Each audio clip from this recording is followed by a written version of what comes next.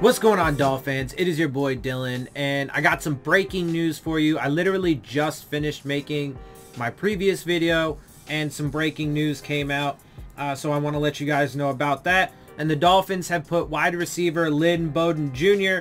on the reserve COVID-19 list. He's also one of our running backs.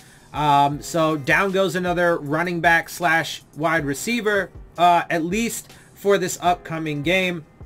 Don't know if it's a positive test or simply just because he might have come into contact with maybe the assistant coach who tested positive. We don't know, but they will certainly be without him now for this upgaming game, uh, this upgaming game, upcoming game against the Arizona Cardinals. And additionally, uh, because I also noticed this, Matt Breida, running back Matt Breida, is going to be out versus the Cardinals because of his hamstring issue. So we will be without him uh, which obviously makes this upcoming game even more just fucked. I mean, everything about this whole season is just fucked. Fucked, fucked, fucked.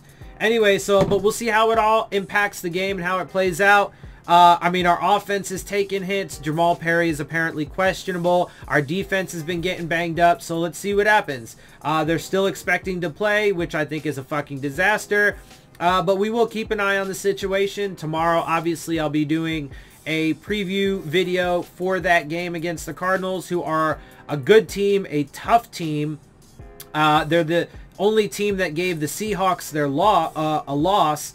So we'll get into that preview tomorrow, and then should the game go on as scheduled, we will be doing a live stream for that on Sunday. So be sure to join me for that. Otherwise, I'm going to get out of here. That is the breaking news that I had for you. And so I'm going to bounce.